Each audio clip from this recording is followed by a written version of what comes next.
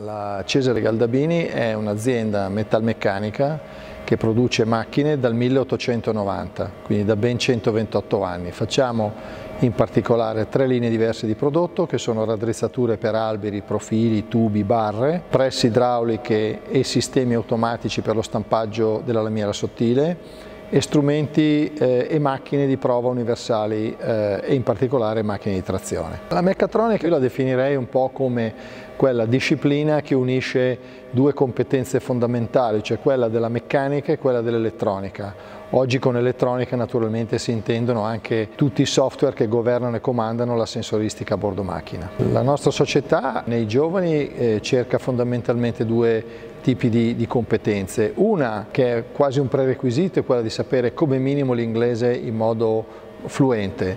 La seconda invece di carattere più strettamente professionistico eh, è quella di avere una competenza scientifica e in particolare di tipo meccanico-elettronico per poter essere inseriti in un ruolo nell'azienda. Il consiglio è sicuramente quello di avere una preparazione teorica in una disciplina scientifica, quindi elettronica, elettrotecnica, meccanica, informatica e poi sicuramente di, eh, di avere la, la curiosità di, di, voler imparare, quindi eh, la curiosità di imparare è il motore che, che, consente di progredire e di conoscere, quindi una volta che un giovane preparato entra in un'azienda eh, che ha e che dà delle possibilità di conoscenza e di imparare, bisogna avere la curiosità e la passione per, per progredire.